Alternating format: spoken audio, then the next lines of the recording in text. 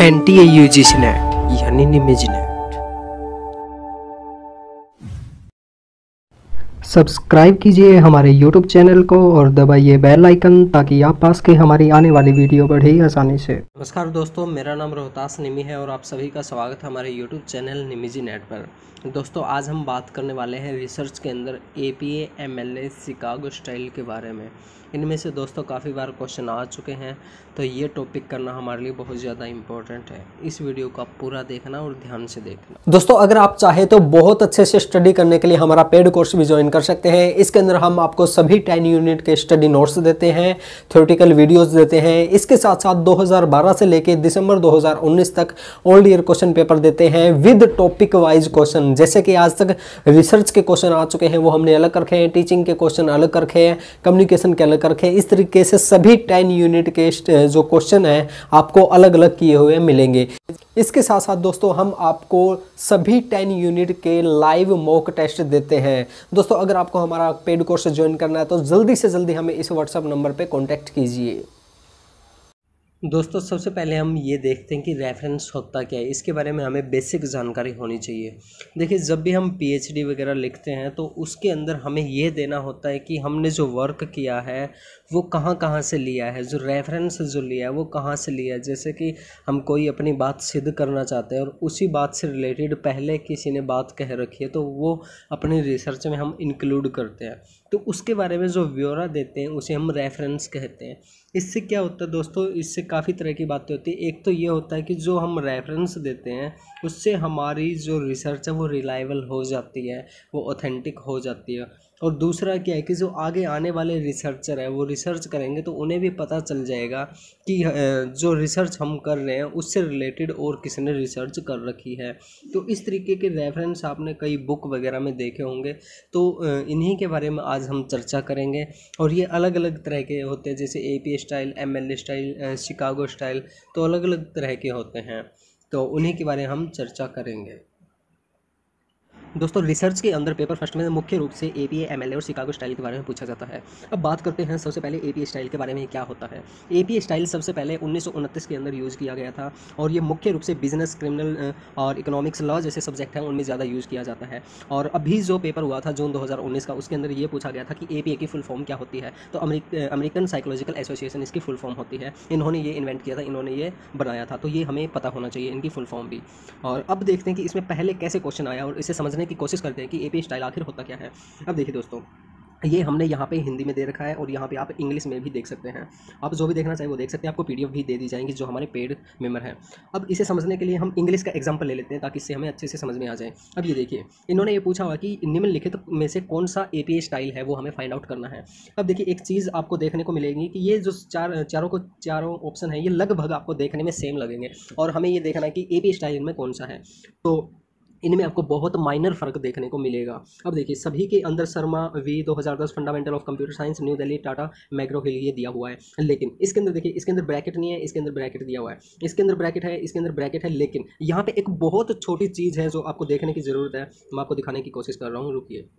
अब देखिए option number जो डी है डी हमारा ऑप्शन नंबर है, इसके अंदर क्या है? 2010 के बाद देखिए आप, इस तरीके का ये डैश लगा हुआ है, ठीक है? और लेकिन इसमें देखिए, इसके अंदर ये डॉट लगा हुआ है, ठीक है? तो ये एक माइनर बहुत छोटा सा फ़र्क इसमें देखने को हमें मिल रहा है, और यहीं से हमारा क्वेश्चन बनता है। अब देखिए, एक और चीज़ मैं आपको दिखाने की कोशिश करता हूँ। अब ये देखिए ऑप्शन नंबर बी और सी के अंदर देखिए आप, ये भी आपको बिल्कुल सेम दिखने को मिलेंगे, लेकिन अब देखिए कंप्यूटर साइंस के बाद इन्होंने यहाँ पे डॉट लगाया और यहाँ पे कंप्यूटर साइंस के बाद में इस तरीके से इन्होंने डैश लगाया तो ये छोटी छोटी चीज़ें हैं। अब बात करते हैं हम कि जो हमारा ए स्टाइल होता है, उसका फॉर्मेट है, वो किस तरीके से होता है? क्या होता है, इसे किस तरीके से लिखा जाता है? अब देखिए ए पी स्टाइल का हमने फॉर्मेट यहाँ पे दिया हुआ है। इसके अंदर क्या होता है दोस्तों? जो भी लेखक का नाम होता है, उसमें सबसे पहले लास्ट नेम आता है और फिर फ़र्स्ट नेम आता है। अब जैसे हम मान के चलते हैं कि विक्रम शर्मा है किसी का नाम। विक्रम शर्मा शर्मा नाम है, ठीक है? उसके अंदर क्या होगा, विक्रम शर्मा में जो शर्मा नाम है, वो सबसे पहले आएगा और उसके बाद में उसका फ़र्स्ट नेम आएगा, यानी कि विक्रम। अब देखिए, विक्रम के अंदर भी जो पहला अक्षर है वी वो ही हम लिखेंगे, पूरा विक्रम नहीं लिखेंगे। ठीक है? यहाँ से आप देख सकते हैं ये।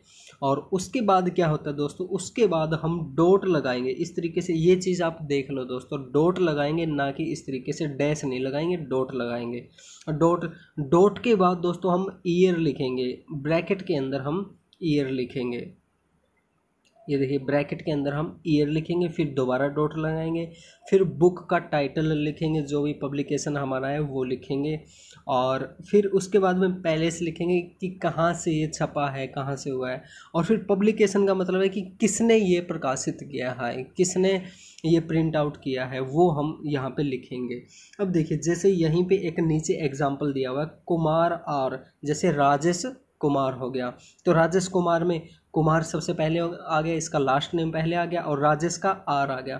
फिर हमने ईयर लिख दी 2015 और डॉट लगा दिया और फिर इफ़ेक्ट ऑफ़ टीवी फिर डॉट लगा दिया। फिर कहाँ से पब्लिश हुआ ये? रोहतक से पब्लिश हुआ है और किसने पब्लिश किया ये? अजंता पब्लिकेशन ने पब्लिश किया है। अब देखिए, यहाँ से आप बिल्कुल आसानी से समझ सकते हैं और एक चीज़ आपको ध्यान देने की ज़रूरत है। यहाँ इसके अंदर जो ये देखिए, आपको यहाँ से लेके यहाँ तक सभी में डॉट नज़र आएँगे और लेकिन यहाँ पे ये देखिए, ये डबल डॉट इस तरीके से होगा और यहाँ पे जो है, यहाँ पे ये डैश होगा इस तरीके का। तो ये आपको छोटी छोटी छोटी छोटी चीज़ें दोस्तों समझने की ज़रूरत है, ठीक है? और यहाँ पे आप इनमें भी देख सकते हैं कि इसका यही ऑप्शन क्यों आया है, यही आंसर क्यों आया ये आप अच्छे से देखना। अगर आपको समझ में ना आए तो आप मेरे से पूछ सकते हैं। बहुत अच्छे से मैंने समझाने की कोशिश की है और यहाँ पे मैंने हिंदी में भी दिया है। ठीक है? अब देखिए दोस्तों, ये हमारा अगला क्वेश्चन आया था। दिसंबर 2015 के अंदर क्वेश्चन आया हुआ है। ठीक है? अब इसके अंदर क्या है दोस्तों? इसके अंदर एक छो छोटा सा कन्फ्यूज़न दिया हुआ है। ये यूजीसी नेट ने खुद कन्फ्यूज़न दिया हुआ है, जो थोड़ा सही नहीं है। अब देखिए, मैं आपको क्वेश्चन पढ़ के सुनाता हूँ, उससे आपको बिल्कुल अच्छे से समझ में आ जाएगा। अब देखिए, यहाँ पे इन्होंने ए पी ए स्टाइल के बारे में पूछा हुआ है, ये देखिए इंग्लिश के अंदर। Which of the following are the basic rule of A P A style of referencing format इन्होंने कहा है कि ए पी स्टाइल लिखने का स्टाइल क्या है बेसिक वो हमें बताना है। अब देखिए, इन्होंने ये इसका आंसर ये है बी सी डी पहले ही मैं बता देता हूँ इसका आंसर। बी में क्या है? Inventor authors name last name first चलो, ये अच्छी बात अभी लास्ट नेम पहले आना चाहिए। ये बात हमने पहले भी पढ़ी है। अब देखिए दोस्तों, अगला देखते हैं हम option number C italicize title of longer work such as book and journal इन्होंने कहा है कि बुक और जर्नल का जो नाम है, वो हमें इटैलिक करके लिखना है। इटैलिक का मतलब समझते हो ना दोस्तों, इस तरीके से टेढ़ा करके लिखना है। अब यहाँ पे हमें प्रॉब्लम आती है दोस्तों। अब देखिए, एक चीज़ मैं आपको बताऊँ कि इन्होंने सभी के अंदर बी ऑप्शन दिया हुआ है और इसका आंसर भी यही दिया हुआ है यूजीसी नेट ने। अब यहाँ पे प्रॉब्लम क्या आती है? प्रॉब्लम समझने की कोशिश कीजिए। यहाँ पे इन्होंने कहा है कि जो बुक का नेम है, वो हमें इटैलिक करके लिखना होगा। चलो हम मान लेते हैं भाई इटैलिक करके लिखना है, आपकी बात। ठीक है? लेकिन अब जो हमने क्वेश्चन ऊपर ये पढ़ा, इसमें आप ये बता दीजिए, कहीं भी इटैलिक है, कहीं भी नाम इटैलिक नहीं दिया हुआ, और आप चाहे रियल रियल जो पेपर है, वो देख लेना। अगर मैं यहाँ पे रियल पेपर दिखाता तो वो काफ़ी धुंधला होता। आपको अच्छे से ये समझ में नहीं आता, इसलिए मैंने टाइप किया है। ठीक है? तो यहाँ पे इन्होंने कहीं भी इटैलिक नहीं दिया, लेकिन अगले ही क्वेश्चन में ये कह रहे हैं कि जो बुक का नेम होगा, वो इटैलिक होगा। तो देखिए यूजीसी नेट है, वो खुद गलती कर रहा है। एक के अंदर इटैलिक करके दे रहा और दूसरे के अंदर इटैलिक करके नहीं दे रहा। तो ये छोटी सी एक गलती है यूजीसी नेट की जो स्टूडेंट को कंफ्यूज करता हुआ आ रहा है। तो हमें क्या करना है? अब हमारी बात आती है दोस्तों। हमारी यही बात आती है दोस्तों, अगर किसी ऑप्शन में इटैलिक दिया हुआ है, ठीक है तो हमें वही ऑप्शन राइट करना है। अब जैसे मान के चलते हैं, यही क्वेश्चन लेके चलते हैं। ऑप्शन नंबर ए ऐसे सिंपल दिया है और बी के अंदर ये जो fundamental of computer science italic करके दिया हुआ है तो हमें उसी पे टिक करना है। ठीक है। और सारी चीज़ें वही रहेगी जो ये रहती है। अब देखिए तो दोस्तों छोटी सी ये चीज़ ध्यान में रखना, क्योंकि यूजीसी ने खुद हमें कंफ्यूज किया है। अगर वो इटैलिक दे तो इटैलिक वाले पे हमें क्लिक करना है। ठीक है? और जो फॉर्मेट है, वो हमारा बिल्कुल सेम रहेगा कि लास्ट नेम पहले आएगा फ़र्स्ट नेम बाद में आएगा ईयर बुक वगैरह, वो सारी चीज़ बिल्कुल सही आएगी एपीए स्टाइल के अंदर। यहाँ पे हमने एग्ज़ाम्पल भी दे रखा है, ये पढ़ सकते हैं। और दोस्तों, अगर आपको कोई भी बात समझ में ना आए, हो सकता है कि कुछ कन्फ्यूज़न हो जाए आपके दिमाग में तो आप हमसे कमेंट बॉक्स के ज़रिए पूछ सकते हैं, या फिर आपको हमारा व्हाट्सअप नंबर मिल जाएगा, उससे भी आप पूछ सकते हैं। अब हम आगे देखते हैं दोस्तों, आगे आता है हमारा MLA स्टाइल आता है। अब देखिए MLA स्टाइल के अंदर क्या आता है? इसे सबसे पहले कहते क्या है? इसकी फुल फॉर्म क्या है? मॉडर्न लैंग्वेज एसोसिएशन कहते हैं। इसकी फुल फॉर्म पूछी जा सकती है तो ये आप याद रख लेना। इसको सबसे पहले अमेरिका में उन्नीस सौ पचासी के अंदर यूज़ किया गया था। और इसको ज़्यादातर ह्यूमनिटीज़ एंड लिटरेचर जो सब्जेक्ट होते हैं, उनके अंदर ज़्यादा यूज़ किया जाता है। अब देखते हैं इसके अंदर कैसे क्वेश्चन आए हैं। इनमें जून 2013 के अंदर क्वेश्चन आया था। अब यहाँ पे हमने हिंदी में दिया हुआ है और इंग्लिश में भी दिया हुआ है। अब इसे हम समझने के लिए इंग्लिश वाला क्वेश्चन देखते हैं। अब देखिए दोस्तों, इसमें भी वही बात आ रही है कि ये चारों के चारों ऑप्शन आपको लगभग सेम देखने को मिलेंगे। लेकिन माइनर छोटा छोटा छोटा छोटा इनके अंदर डिफरेंस है। अब देखिए, यही आ गया। ऑप्शन नंबर सी की बात करें तो यहाँ पे देखिए, इन्होंने इस तरीके से डैश लगा दिया। और इसके अंदर नीचे आप देखोगे तो यहाँ पे ऐसा डैश नहीं है डी वाले में नहीं है।